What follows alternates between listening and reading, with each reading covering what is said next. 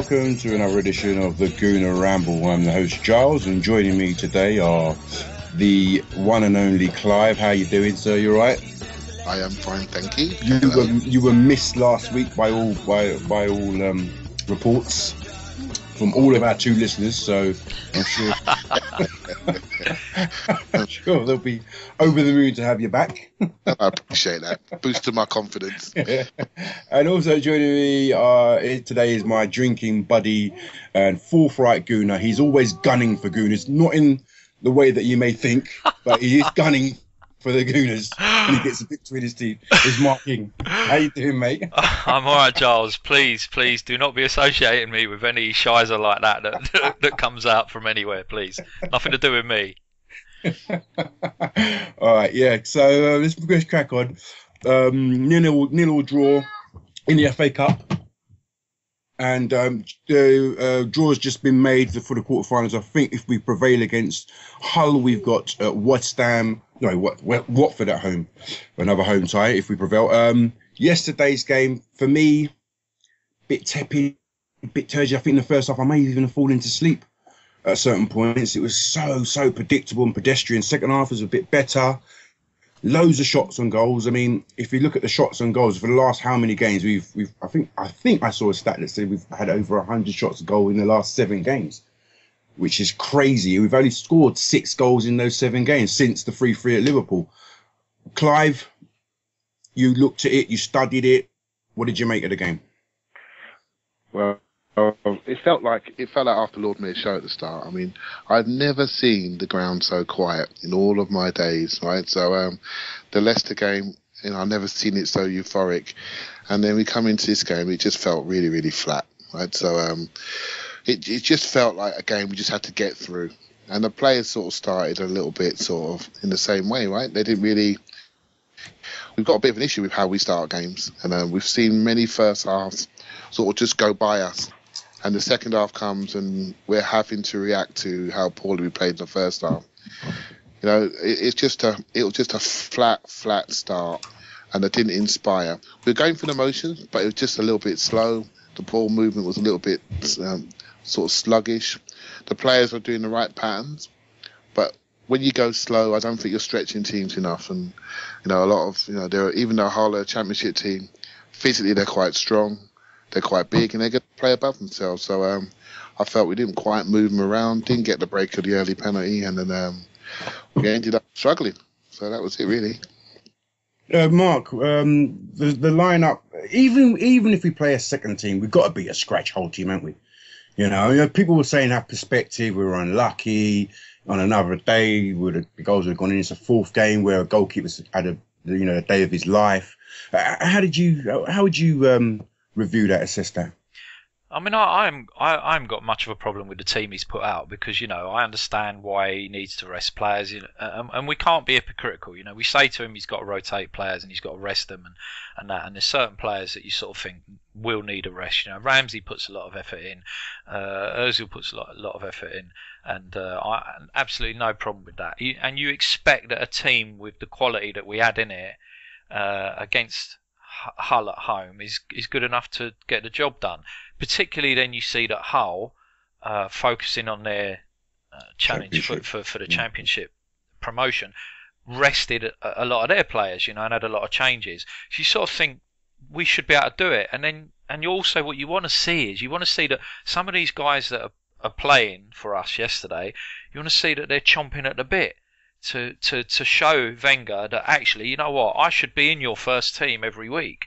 Um, and then you, you watch, you know, you look at it and you think, as Clive says, when it's so slow in that first half, I mean, it was really, that was a really dire half of football. It was awful. The other thing you've got to think about is the atmosphere. Now, again, it's, it's chicken and egg. You know, is the atmosphere so bad because the football's so shit?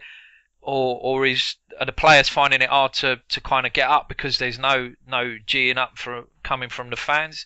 It's um it's a difficult question, you know, and and I don't know. I mean, I, you've seen this season for me has been the worst season for atmosphere at the Emirates. It's been absolutely terrible in a lot of games, and I find that if if we're not playing uh, either a, a, local rival or a, a, rival that we're challenging, or you know it's a game that's really really important that we do something in, then the fans are all kind of like sitting there having a chat about last night's telly and, and all shit like that, and they're not you know they're not picking up the team and they're waiting for the team to do something. And whether that's right or wrong, I'm not too sure, but it, it was it was it was dreadful.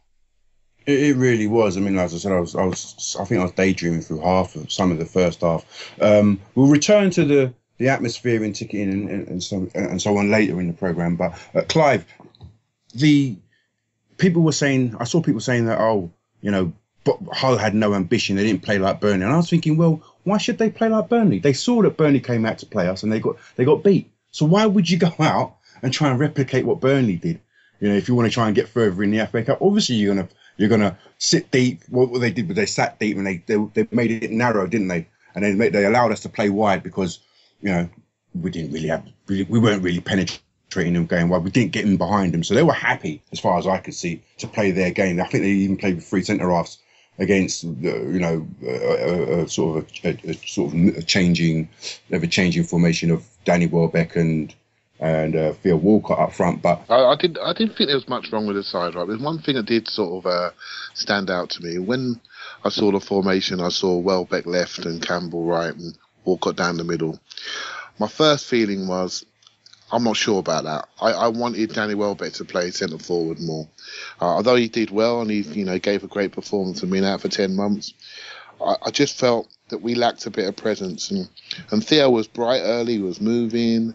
But once they got, once we got hold of the ball, once we'd like controlled the centre of the pitch and we started to go through our patterns, we're then looking for a centre forward presence off a cross ball, and that isn't Theo's game, right? So um, I think they did shuffle around a bit later on. But I would have started Welbeck as centre forward just yeah. for some physicality against, you know, those championship centre backs who are a bit lumpy, right? I would have just had him there and it would have maybe given us another option. I do think Arsenal have been really good at what I call chance creation. I'm loving these diagonals over the top to players running in. But, you know, one of the main players are doing that, well, the two main players for those diagonals are and Sanchez. And they both didn't play, right? So I felt our chance creation, even though it was good, it wasn't the type of chances we're making in league games. And uh, it's it's not much criticism. I thought we were better in this game than we were, say, Southampton nil nil. I thought we a lot more conviction in our finishing, and I felt we were unluckier. I thought the goalkeeper had a worldie, and we were much more unlucky than versus Southampton, where I felt our finishing was sloppy and lacked conviction. Mark, Clive says that the goalkeeper had a worldie. A lot of people had him down as a man of the match. Were a lot of those chances really that great? I mean, a lot of them seem to be kind of in his in his wingspan, if you want. You know, um, there's only a few. I think maybe I think the for me Campbell's shot he tipped it onto the post was a great save. Um, and I'm struggling to think of any others that really stretched him. I don't know what what what did you think?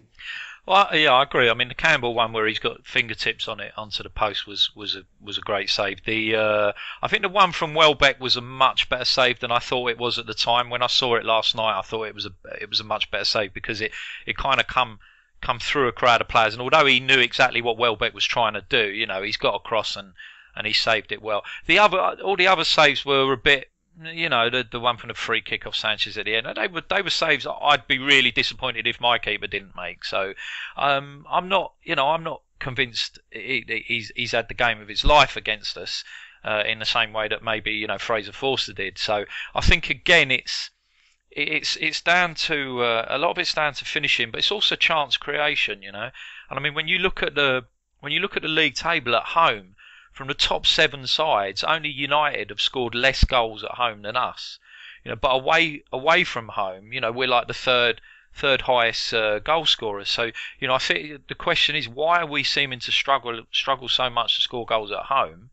Um, and not necessarily away. You know, is it the style of football that we play away is more conducive to that, Whereas at home, you know, when the teams are sitting sitting those banks in front of their box, you know, are, are, we struggling? And the one thing, and we spoke about it yesterday, is as soon as you take uh, Özil out of the team, there's very very little creativity, um, and that that that's a real concern to me. That is is if we lose.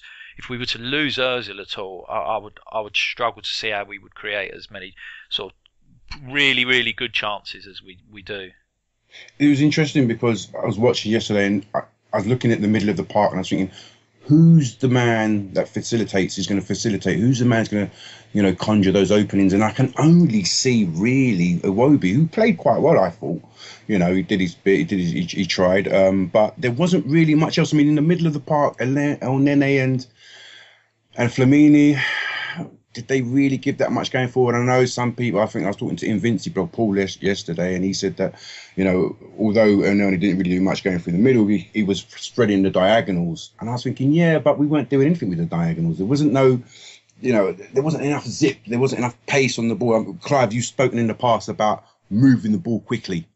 You know, uh, yeah, moving the ball quickly is really important because what you're doing is you're giving the person who's receiving the ball an extra half yard, and that means he can do his stuff and move away. You can create that sort of, I call it like a, a triangle to offense, right, where you cut back against the grain, and you're just creating movement and moving players around. My issue really is I, I, I don't think it's a problem in creating chances, but if you look at the front three, right, just look at them. I mean, Walcott, how many goals has he scored this season? What, three or four? Welbeck been out for 10 months. And Campbell, is he a goal scorer or a goal maker? Right? So we've got all of these chance creation and solidity, but really we're looking at our fullbacks to really break them open. You know, one of our fullbacks is really a debate whether he's a centre half or a centre midfielder, right? So mm. I, I think chance creation is good, but it's, it's, it's, it's conviction and quality of finishing. Right, we've had 20 plus shots, right? But you make a good point. How many of those did you feel in your stomach that was really going to go in? Right? Maybe a couple of deflections could have gone our way. What we needed was that early penalty, right? Yeah. That early yeah. goes in. It's 1 0 after 15 minutes, and that game is completely different, right? And I think the less, if there's a lesson, and we've got to learn it quick. We've got to be better in the first 15 minutes right? Because that can set the tone of the game, and this is not the first time it's happened. I'm not I'm not massively critical of them. I just think we are not scoring enough goals, and I think it's not that when we are making enough chances, we are not scoring enough goals. It's our conversion rate that's really poor rather than our chance creation. And, and, that's been quite simple. As I said, you know, the last six, seven games has been pretty poor in terms of conversion rates. Um, so whether it's Danny Welbeck or or or, or Walcott or our main guy Olivier Giroud, we're not tucking them away. We're not sticking them in, and uh, I, I, I'm, I'm, I'm worried. That it is a worrying statistic going forward. When will we get our mojo back in terms of, you know, um, putting teams to bed? I mean, obviously we, we, you know, we've got the win at Leicester last weekend, and obviously we've got Barcelona coming up on Tuesday, and then we've got oh, my memory escapes me. Is it West Brom? I don't know who we got on Saturday. Sunday. No, we've got United. Man United, don't we? Man United next weekend. So, uh, do you, are you confident that we will get our mojo back in terms of converting these chances that we've been creating, Clive? Oh, I'm, I'm not. Right? I'm confident we're going to play well. But I, I can't tell you where the goal's coming from. I mean, Giroud, you know, Giroud's a player that we've criticised over the recent seasons. I tell you what, he's he's carrying the team goal scoring wise this season, without a doubt. And um, and if there was one worry yesterday, a couple of little things that worried me, but the the one worry really was Alexis Sanchez. Right, he's come on, and he is that person that can take a half chance or create his own chance and he has not performed really consistently this season and given us that extra. And if we're going to do anything, we really need him. We, we need him to find his legs again, to find his form, to get that fear factor back.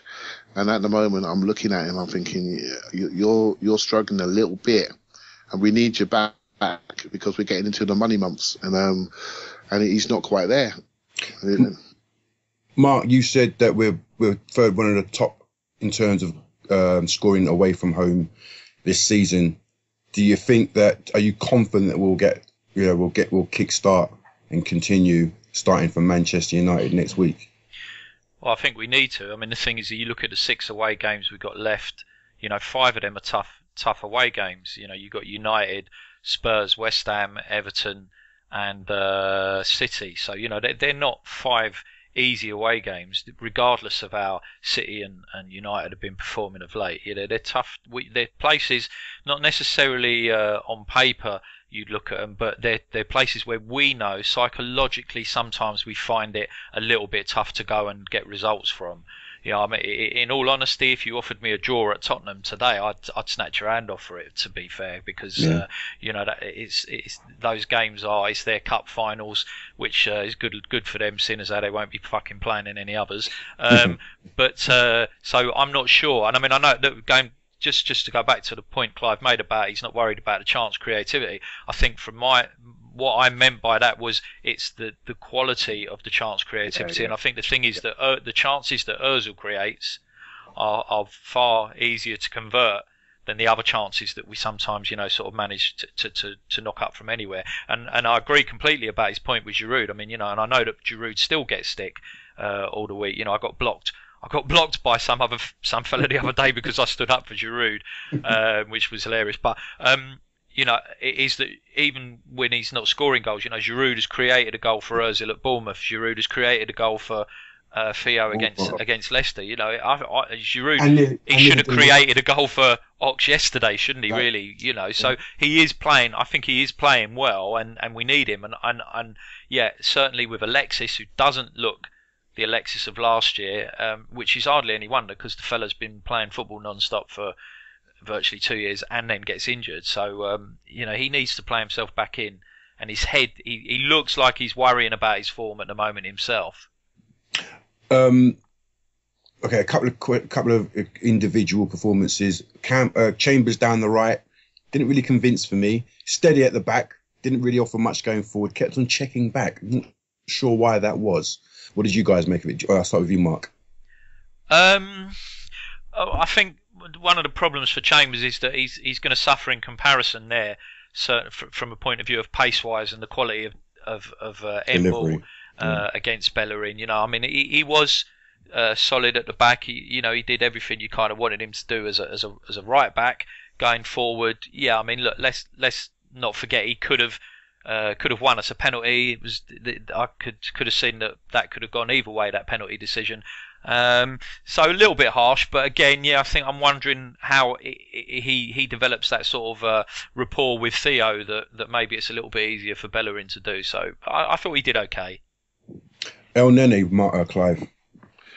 Yeah, I, I, I really like him. I, I, I thought I noticed uh, in his first game he looked quite tired, he looked quite mobile, but yesterday uh, he looked really good across the ground. Right, he um he when he presses, he presses with a bit more acceleration. You can see he's adapting physically. Um, I, I he is a proper centre midfielder, right? He's a facilitator comes over, gets it, moves it out the other side, passes it forward, follows his pass, challenges his man. I, I really like what he could be. I mean, that's his second game.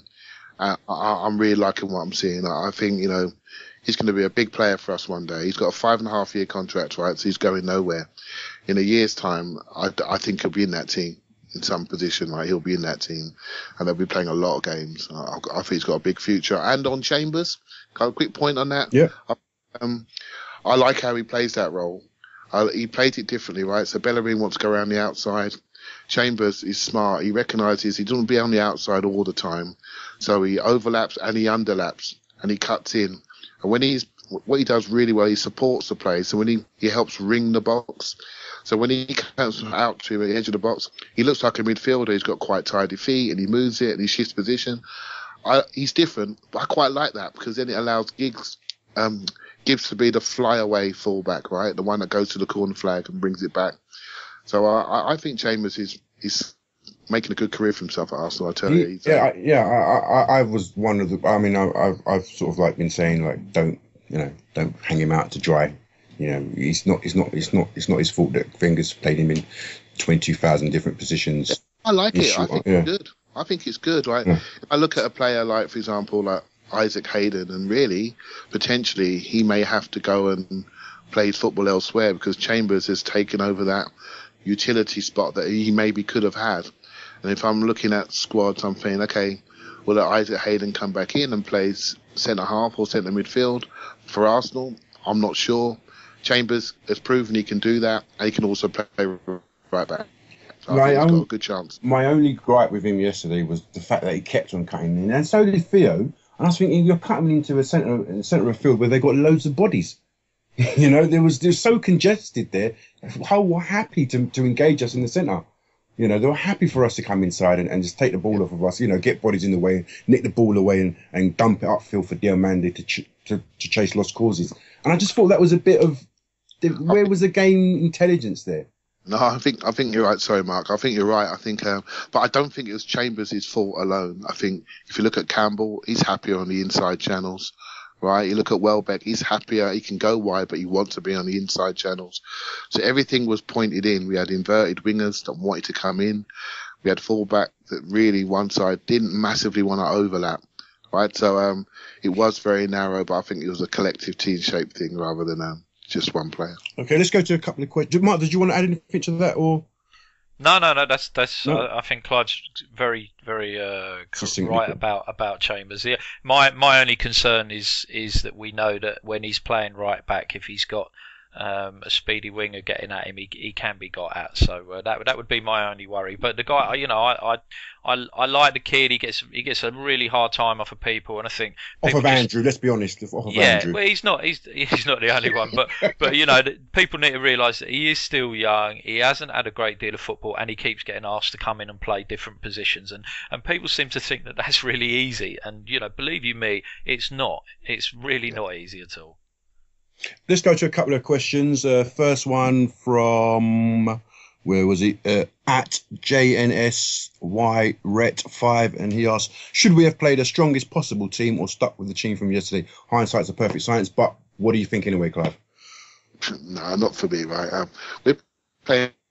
We've got Barcelona on Tuesday, right? The biggest game in world football. Simple as that. There is nothing bigger. You, um, another reason why the players might have been a bit flat yesterday is that they probably realised that they weren't going to start against Barcelona, right? So the ones that were there are thinking, okay, apart from the centre backs, who else is really going to potentially start against Barcelona in that 11?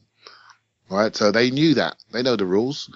So they got out there thinking, I'm missing the chance to play against Barcelona. That's a huge night. That's a career night. And so they were a little bit flat maybe at the start and it took us a while to get going, right? So um, it was no surprise that maybe the ones with the most to play for, like Chambers, like like Iwobi, like Welbeck, were probably the brighter players initially, right? So um, I think for me, this is it's big boy football, right? You can't just go out there and play the same eleven all the time because it will matter. We're talking about fine margins, and that freshness is really important.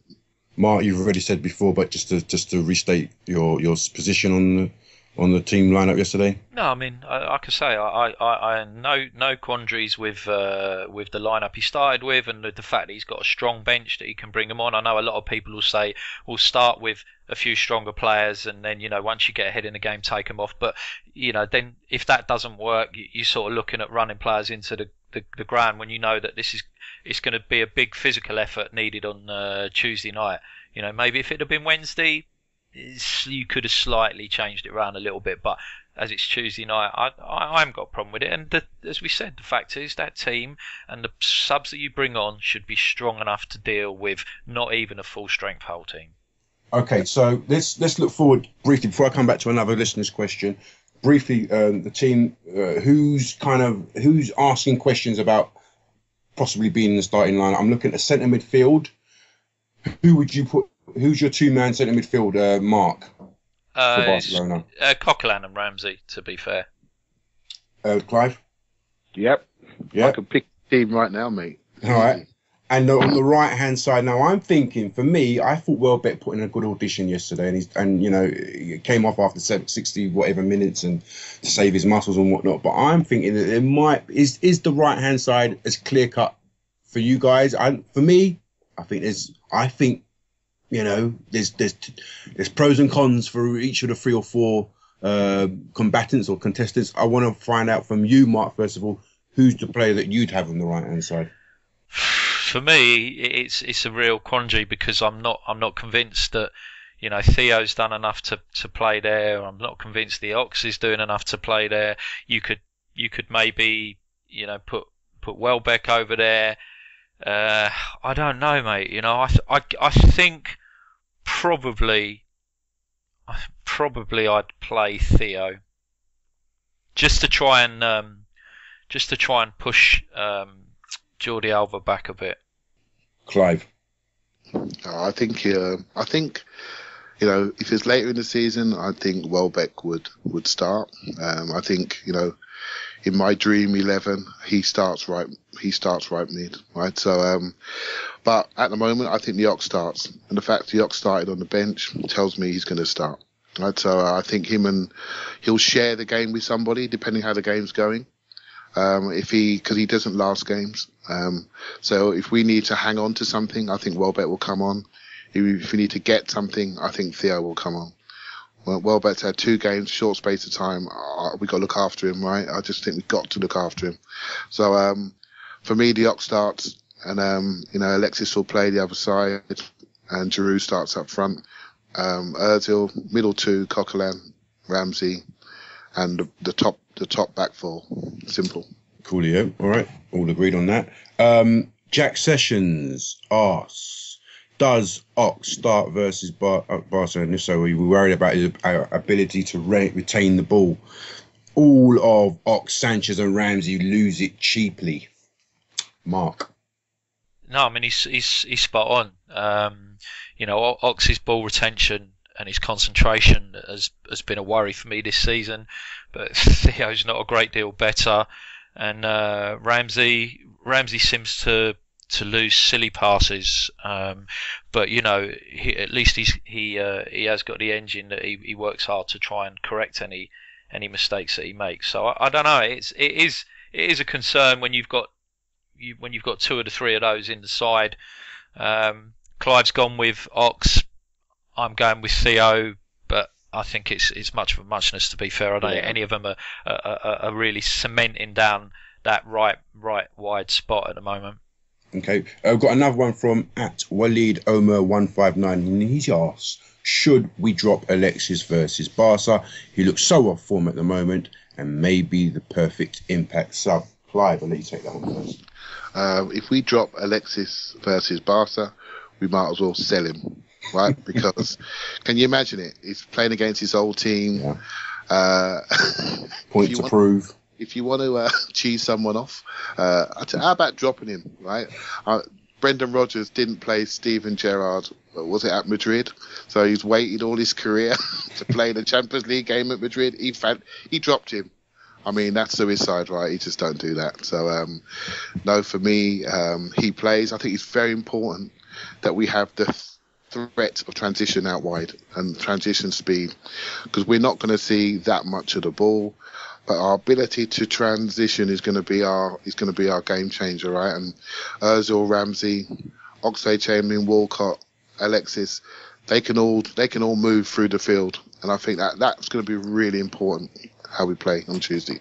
Mark Alexis form since his return has been hmm, worrying hasn't it it has, yeah, it has a little bit, but I mean, it's coincided with a period where we're not, you know, we still haven't been playing great football, and I don't think the team's firing um, on all cylinders at the moment. You know, we, we've we've been um, sketchy to say the least. So uh, I think that's that's not helped him. But you know, you, you, you watch Alexis, and you can always tell with him that he he so wants to do well and that when he's when he's not, you can see how annoyed he's getting with himself and how frustrated he's getting with himself. And I just think I think what Clive said was spot on. You you uh, regardless of the the actual um, you know the, the, the the keeping the player on side part of it, I think Alexis is is key to uh, to to to, the, to this game.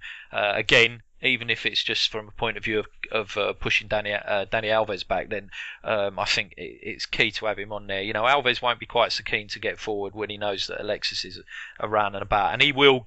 He, that, that I'm really looking forward to that battle because I think that'll be yeah. um, that'll be an excellent battle between those two because you know they both they both want to they both want to get forward. Well, sorry, Alves always wants to get forward, but Alexis might make that a little bit more difficult for him than normal very interesting South American battle going on now. Um, moving on to at Welsh Gunner 95, and he asks, is a replay really that bad as most of the first team players won't play?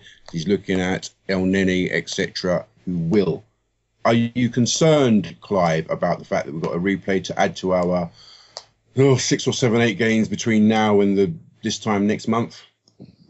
Only, only a little bit, right? We, we seem we seem like a one or one defender light, so we need we need Gabriel back. If we had to make like you know if we're going to play, it's going to be a game we have to play in a short space of time. So we originally need to make 11 changes, and we can make about nine comfortably currently with the current injuries, right? So we need to be able to make 11. So we might be a right back short or something like that, you know. And I think um, if we can if we can find that extra player to allow us to make the full 11, then it's just another game, right? So um, and then uh, we, hopefully we'll have enough to uh, to win it, right? So um, I'm not that worried, but if we get a couple of injuries, especially defensively, it, it could be a problem. Mark, anything to add to that one? Yeah, I mean, uh, I think as Clive says, it's a pain in the ass having to play, you know, Per and, and Kos yesterday because I think, you know, they'll be the starting centre halves on Tuesday. But other than that, I mean, just with it just being one game and with the fact that we, we're probably not going to be playing more than two games in the Champions League mm-hmm. uh, after today. Um, maybe it's not such a big problem, but you know, it is a. It, the, the, I think the point is, and, and it was the reason why a lot of people were unhappy yesterday was that it's it's a game that we we shouldn't have needed to have to play. You know, it's still it's a tough midweek trip up to Hull. You know, Hull might take it a little bit more seriously. And I mean, I'm not being funny. Steve Bruce didn't want this game. No. You know, the only people the only people who wanted this this this replay was the Hull fans probably just you know to get the Arsenal up to, to, to, town again and and the owner who can like cane a bit more money out of our away fans and his own home fans. So other than that no one really wanted this. So I mean it was just more I think a question of frustration that we that as we've said we should have had enough in our side to have not to have knocked Hull out yesterday. Coolio all right um let's move forward Let's move on to the um, issue with the actual ground, uh, the, the, fans, the ground, the ticket exchange, this, that. Um, I was talking to somebody earlier today. I can't remember. I can't see their tweet, but they said they tried to buy free tickets on Friday of ticket exchange for the Hull game. Couldn't get through. Um, loads of empty seats yesterday, weren't there? Loads of empty seats. I mean, where I was in Block Four, I must have been sitting. There was about a row of six empty seats next to me. You know, looking up at club, not surprised there's hardly anyone there, as always, unless it's a big game. But around the ground, it was really, really bad. And I know people, uh, the, the club said there was a attendance figure of, uh, or they sold 59,800 or whatever tickets. But, you know, they've got to, I, I, why can't, why aren't people accessing these tickets? They said last year, I think it was Gazidis or Gunella said last year that they're looking at ways of improving ticket exchange and, and box office and whatnot, uh, and it just doesn't seem to have worked. I mean, surely there must have been people that wanted to come to this game. What did you think?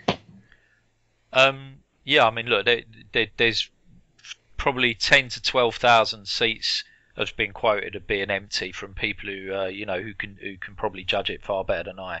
Uh, it's hard to understand. I mean, I'm not being funny, but I mean, it was a Category C game, let's be fair. So, you know, 20, 26, 26, 27 quid. So that's a decent price to come and watch the Arsenal play in a home game in a you know in a cup match that they should should be putting in a good performance and winning. So you know you think that there'd be plenty of people that would want to come. Now conversely, if all these other season ticket holders just decide, oh you know I can't be bothered going to this game, why are they not putting it? I don't understand why they're not putting it on Ticket Exchange.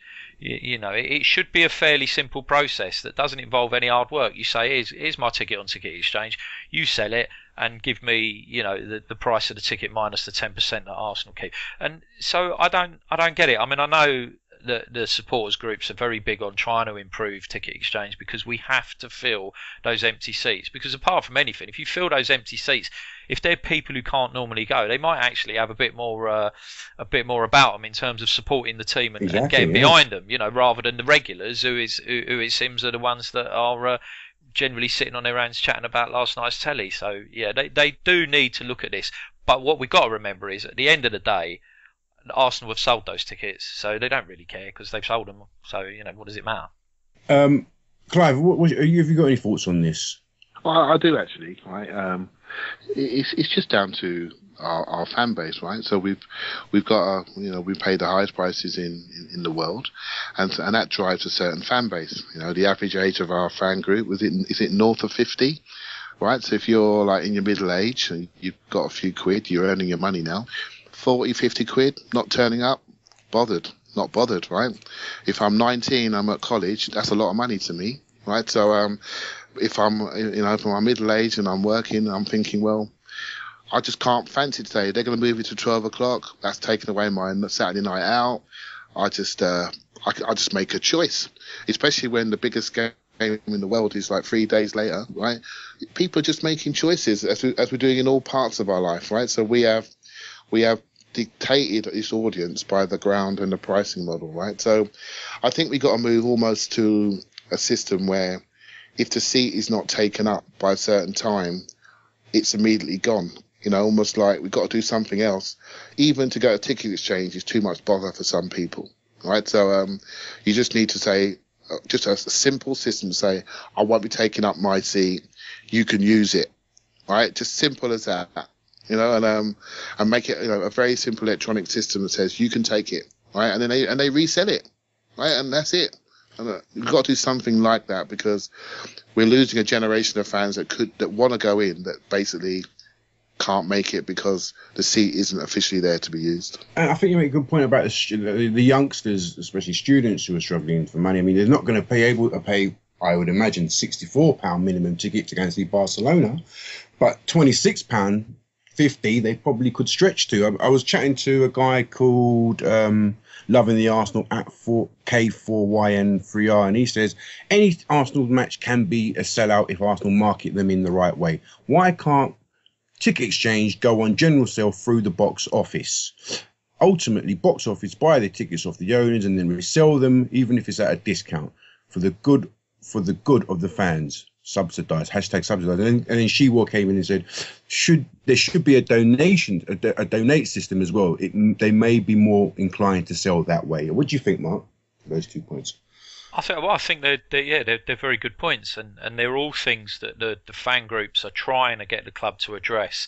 And you know and all you get what you get is you get Ivan Gazidis telling us that you know we've made improvements to ticket exchange, but we still see the same old problems. That it seems to be hard to sell those tickets. Now maybe they're not doing enough to ensure that the people put their tickets on on the exchange or make them available. Um, but you also, I mean, like there's there's four four of us sitting in a row, and the the number of times that any of our seats have been empty in the ten years since we've been at the Emirates is you count on one hand, and that's generally due to unforeseen circumstances. You know, we always make sure someone can go. Uh, even even on Twitter, you, you see how easy it is to, to get to get tickets available to people, and there's never any indication, you know, apart from a few scummy twats, there's never any indication of of uh, people selling tickets for more than face value. So you know, it, I think actually the fans do more to try and get the tickets used than the bloody club's helping us to do. Yeah. So they need to, they really need to look at this and, and work harder to, to try and make them available and get those seats filled up and give give people the opportunity to go to games, particularly when you consider that game yesterday and how terrible the atmosphere was. Exactly. Really could have done with a, you know, th- those ten thousand people who, who, would have who would have made a lot more noise and been a bit more excited about being there, regardless of you know how, how dire the performance may have been.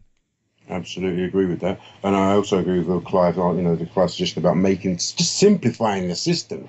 I mean, why you know why is it so complex? Why does it have to fucking crash?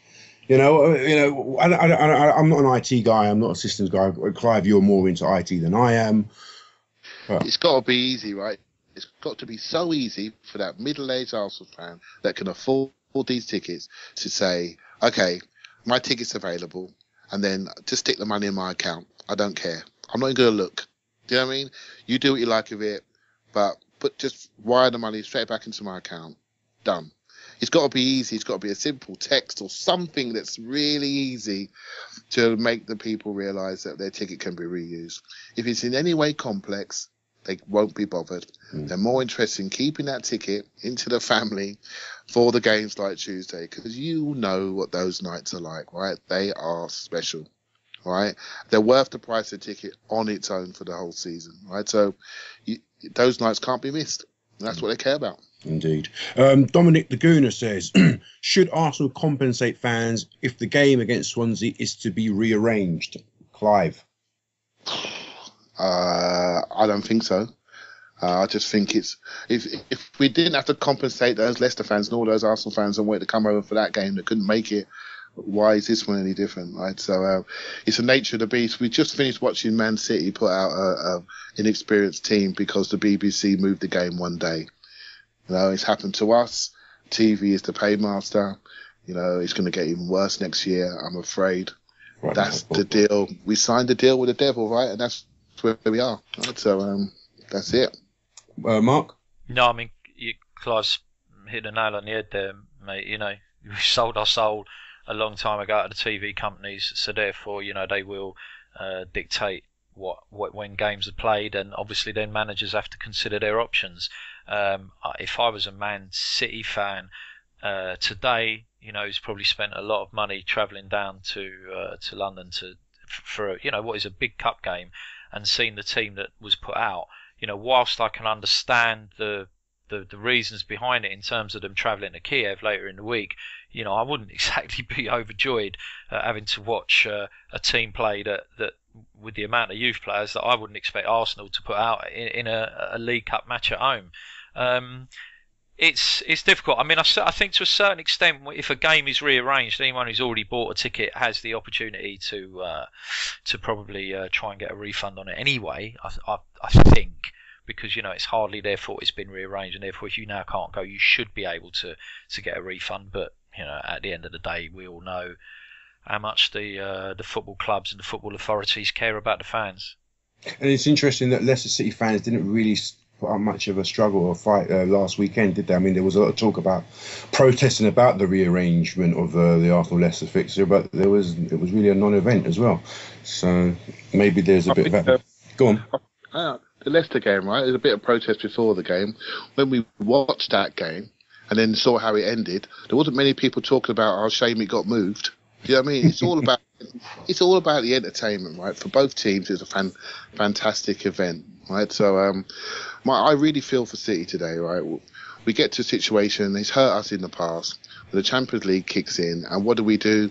We throw the Premier Cup competition right around the same time, and we then put in replays. I mean, it's we got to ask ourselves, right? Uh, what are we doing to help the you know the top clubs in Europe? We're just not helping them. That's right? a good. That's a good. Go on, go on, go on, Clive. Go on. We're not helping them. Yeah. Man City will be judged on what they do in Europe. They've spent millions and millions over the last four or five years. They've won two leagues and they will be judged. They haven't qualified even for the latter stages for a few years. It's all about Europe for them and the Premiership. And that's where we are. And what do we do? We throw in an FA Cup, right? And uh, the, the FA Cup has got to look at its scheduling and its timing. And I don't give a monkey's about tradition. The game has changed the financial demographic of the game has made that competition slightly less important. So we have to decide how we want it to fit into our British game, right? So we need to put it into a place in the a timing in the league season where it can be given the priority it deserves. And for me, the issue is the League Cup. The League Cup is well positioned, right? And um, and what's happened is you can't do the two at the same time. Does this country need two cup competitions? We're the only ones, right? So um, maybe that's got to be looked at, right? But um, that's just my opinion. But um, I, I, think one cup competition is, is more than enough. Uh, uh, Mark well, Clive's made a, a, a, number of points. Want, the first point I want to bring you to is, is, sort of like and tie in with what Wenger said the other day was he believes in the romance of the cup and we should keep FA Cup replays, but Premier League obviously want to ring fence. Uh, you know, they want to sort of help our Premier clubs uh, progress in, in, in Europe. Not least because by 2018 we might lose a place. So it's in our it's in our benefit. It's in it's in their interest or a club's interest to, to, to go as far and progress in Europe as possible. Are you a more of a romanticist, or are you sort of more modern day and think, look, let's do away with the replays, or at least do as Clive said, do we need the League Cup? have one less cup competition. It's protect our, our Premier clubs in Europe.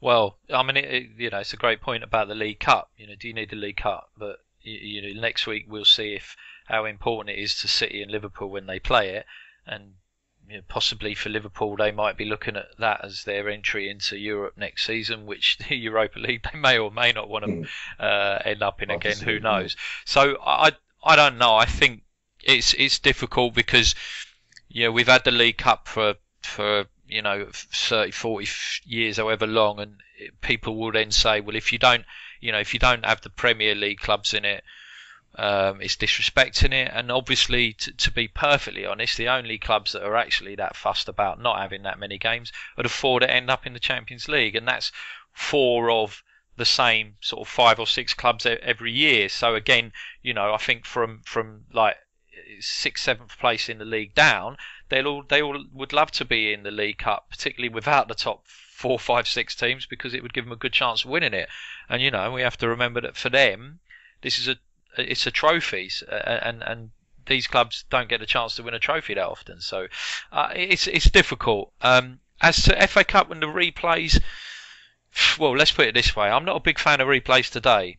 Uh, mm. Certainly, uh, like, an even an even less of a fan than I was at three, uh, 12:45 yesterday. So I don't know. It's it's hard to say. I think maybe I think uh, Tim Stillman said earlier on today. Maybe you could say that after the fifth round, uh, not replays on the head, so that you know from the from yeah. round five six. Uh, you, you, yeah, yeah. That's it. You know, it's a one-off game. You know, but all the way through before that, maybe you could stick with the replays because there's less congestion, and obviously they're played at a time that's uh, where the Champions League hasn't kicked in a, kicked in yet. Yeah, I agree there. I think that's a good thing, and also for those smaller clubs to get that replay is like a life blood, right? So, um, and I think, but uh, it's only in the third and fourth round, and once it gets to the fifth round, you know, not even not just the Champions League, but the league games become events, right? Leicester's game against Norwich in a week's time, that's as big as any cup game, right? That's an event, right? So um, we're now selling events every week. You know, some of the times the Premiership games as big as the FA Cup final. It feels like to me, right? So um, we got to protect the event as it gets into the last third and decide which one is our out. We're literally com- we've got two competing competitions basically, and the Premier League has shown by playing Premier League games after three or four days after a third round game, they're saying to the FA, we don't care about your competition. We're going to put a league game fixture in just after it. So they're competing, right? And we're hurting because we're not just competing in this, but can compete in the Champions League. Mm, okay, cool, yeah. All right, let's move on to the um, ominous Barcelona game coming up. Um, Clive, I want to start with you. How do you think Arsenal should approach this game? uh, uh, I don't know. I, I, don't know. To be honest, um, we're, we're, we're playing the best possession team in the world, but you know, I, I think Barcelona give you the ball a lot more than they used to, and I and I think that we're going to be, you know, we're not going to have it as much as we're used to. But you know, the teams of you know Pep Guardiola's team. I mean, you were lucky to have it for five percent. It felt like you mm. know. Um, I mean, you were just exhausted, just trying to get out, get your head up, let alone get out of your box. You know, so um, I, I feel with this team they're a bit more hard working players like Rakitic has offered some physicality to them. Um, I think um, they still got the three boys up front, obviously, and they're better than ever. But for me, I just think Arsenal need to. I think our our defenders will dictate how we play. I, I see us playing with a with a slightly deeper defence, and I see us springing. And if we can get up the pitch and play some good possession, I, I see Giroud in the air being a real threat. Right, so um, I think Giroud could be the man. I really do. I think uh, physically, he's like no centre forward that they face on a week to week basis. So um, it's our ability to connect with him. And that's why I see us having fast running, hard running, distance running midfielders on um, Tuesday night. And I think our ability to get close to Giroud, to get him the service is going to be key. Mark, um, the defence, as Clive said, will be will be probably key and, and how we protect the defence. Uh, Gabriel, I'm, I'm, sure, well, a lot of people say that Gabriel's inclusion in the team before he got injured was really with an eye to, you know, playing against MSN. Now that he's out of the team, um, we've really got to make sure that um, Mertesacker and, and co are not exposed. Do you see us playing the same sort of game that we played against uh, Bayern Munich at home, where we sort of like we were really disciplined and sort of sprung on them um, hit them on the break quite often, or when we could, Uh, and and even though we've got a lot of distance runners, I mean, we said earlier on that there's, there's quite a few players in that team that are quite profligate with the ball. How important is it to make sure that when we have the ball, we recycle it properly and, and take care of it? Really, really love the ball. How important are these elements? Well, they, they are they're, they're vitally important. You know, I mean, I think we, we have to play uh, a bit deeper. You know, we can't let people um, get at Mertesacker because you know I think everybody knows that that's the that's the the link that they'll be looking to exploit. So uh, we we've got to be really really disciplined, and I think our back four can be. You know, they proved against Bayern that they can be. Um, and then yeah, if, if we can't keep giving away possession cheaply, you know, we've got to manage to hold on to it. You know, we've got to make sure that it's it's it's players like Özil that have got got the ball a bit more than than uh, certain other players who, who yeah. do tend to tend to give it away a bit more. So uh, I just hope we don't. You know, I mean, there's you, you've got the big, you've got the card display, and everyone's going to be up for it. You know, I'm sure the atmosphere is going to be really, really buzzing.